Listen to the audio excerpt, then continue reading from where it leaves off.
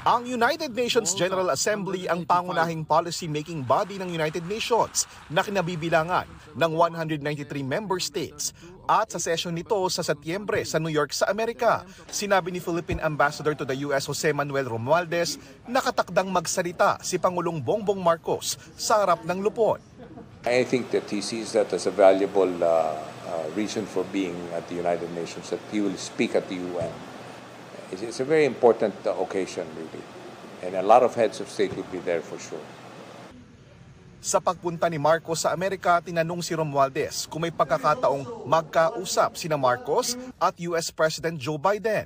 Sabi ni Romualdez, inaayos pa raw ito. Sa imbitasyon naman ni Biden kay Marcos para sa isang state visit, sinabi ni Romualdez na inaayos pa rin daw ang schedule. Isa raw sa mga bilin ni Pangulong Marcos kay Romualdez, matiyak na mananatiling matatag at makabuluhan ang relasyon at military alliance ng Pilipinas at Amerika. At bagaman taunang pinag-aaralan ang Visiting Forces Agreement o VFA at ang Mutual Defense Treaty o MDT, pagtitiyak daw ni Pangulong Marcos mananatili ang mga ito.